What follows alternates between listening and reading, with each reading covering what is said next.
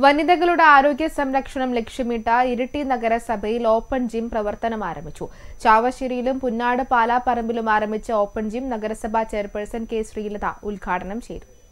നഗരസഭ വനിതകളുടെ സംരക്ഷണത്തിനായി അനുവദിച്ച പന്ത്രണ്ട് ലക്ഷം രൂപ ചിലവിട്ടാണ് രണ്ടിടങ്ങളിൽ ഓപ്പൺ ജിം യാഥാർത്ഥ്യമാക്കിയത്. ഇരട്ടി നഗരസഭയുടെ പാലാപ്പറമ്പിലെ പകൽവീട് മുറ്റത്തും ചാവശ്ശേരി ഗവൺമെന്റ് ഹയർ സെക്കൻഡറി സ്കൂളിന് സമീപത്തുള്ള മിനി സ്റ്റേഡിയത്തിലുമാണ് നഗരസഭയുടെ ഓപ്പൺ ജിം പ്രവർത്തനം ആരംഭിച്ചത്. വയോജനങ്ങൾക്കായി ഇരട്ടി നഗരസഭ പാലാപ്പറമ്പിൽ നിർമ്മിച്ച പകൽവീട് മുറ്റത്താണ് ഓപ്പൺ ജിമ്മും സ്ഥാപിച്ചത്. വനിതകൾക്ക് മുൻഗണന നൽകിയാണ് ഇവിടെ ജിം ഒരുക്കിയത്. ചാവശ്ശേരി മിനി സ്റ്റേഡിയത്തിലെ ഓപ്പൺ ജിമ്മിന്റെയും പുന്നാട് പാലാപ്പറമ്പിലെ ജിമ്മിന്റെയും ഉദ്ഘാടനം ഇരിട്ടി നഗരസഭാ ചെയർപേഴ്സൺ കെ ശ്രീലത നിർവഹിച്ചു.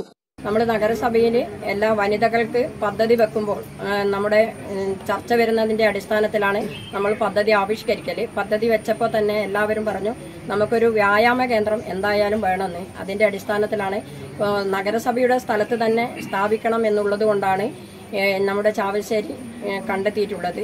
ഈ ചാവശ്ശേരിയിലുള്ള ഈ സ്റ്റേഡിയത്തിൽ എല്ലാ വിഭാഗത്തിൽപ്പെട്ട വനിതകൾക്കും വൈകുന്നേരം ആയാലും രാവിലെ ആയാലും വന്നിട്ട് ജിമ്മ് ചെയ്യാനും അത് പരിപാലിക്കാനുമുള്ള ഒരു നല്ല മനസ്സും നാട്ടുകാരുടെ ഒരു കമ്മിറ്റി ഉണ്ടാക്കി അതിനെ നമുക്ക് പൂർണമായ ഉത്തരവാദിത്തത്തോടുകൂടി നല്ല രീതിയിൽ മുന്നോട്ട് കൊണ്ടുപോകാൻ സാധിക്കണം. പുന്നാട് പാലാപ്പറമ്പിൽ വൈസ് ചെയർമാൻ പി പി ഉസ്മാനും ചാവശ്ശേരിയിൽ standing committee chairman A K രവീന്ദ്രനും അധ്യക്ഷത വഹിച്ചു. സെക്രട്ടറി രാകേഷ് പാലേരി വീട്ടിൽ കെ സോയ വി ശശി സാജിദ ചൂര്യോട്ട തുടങ്ങിയവർ സംസാരിച്ചു.